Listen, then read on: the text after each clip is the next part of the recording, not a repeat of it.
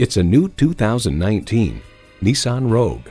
Long, tall, or wide, there's plenty of cargo and passenger space inside this sharp-looking crossover. It comes nicely equipped with features you'll love.